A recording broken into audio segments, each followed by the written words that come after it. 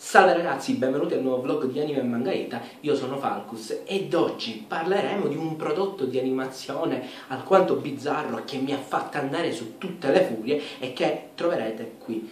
Stavo, stavo riscrivendo la sceneggiatura per il video che uscirà domani, credo, eh, su Fairy Tail e mi sono trovato questo video davanti. Precisamente gli admin della pagina me l'hanno fatto vedere rimetto sempre qui. Bene. Diventa amico di Geova. Che cos'è questa cosa? questo è un modo per fottere il cervello dei bambini. Questo è uno di quei prodotti animati veramente cancerogeni. Il signore che parla all'inizio e coloro che ci stanno dietro questo progetto hanno capito perfettamente la potenza di un cartone animato e l'hanno capito così tanto bene che praticamente vogliono inculcare in testa a dei bambini una cosa improponibile. Li vogliono manipolare a tutti gli effetti. E che cosa fanno? Insegnano cosa è buono e cosa è sbagliato Insegnano cosa Geova vuole e cosa Geova non vuole, ma soprattutto insegnano a questi bambini a diventare dei testimoni di Geova.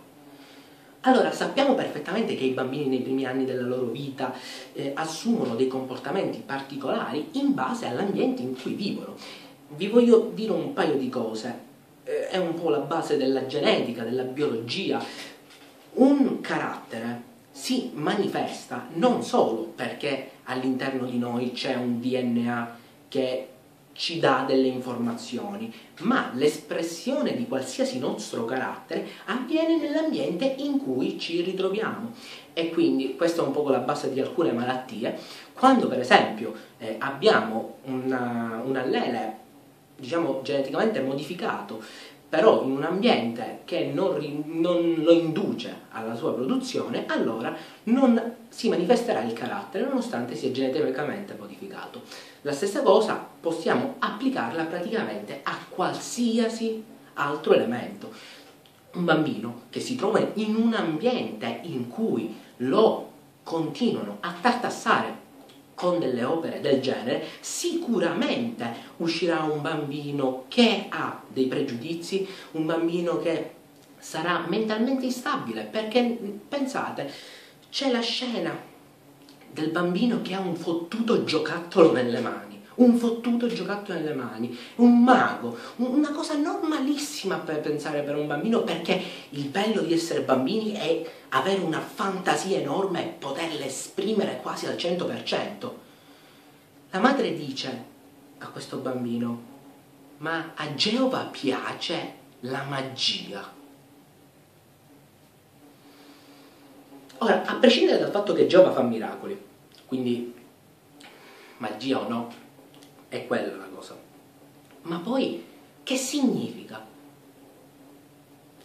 Niente, penso che questo video eh, sia il male assoluto. Penso che chi sta dietro questo video sta male quanto un follo omicida perché manipolare la testa dei bambini è una cosa così ignobile e così brutta che sinceramente mi fa girare le palle. Sto facendo questo vlog così, un po' velocemente, un po' arrabbiato. Mm, non...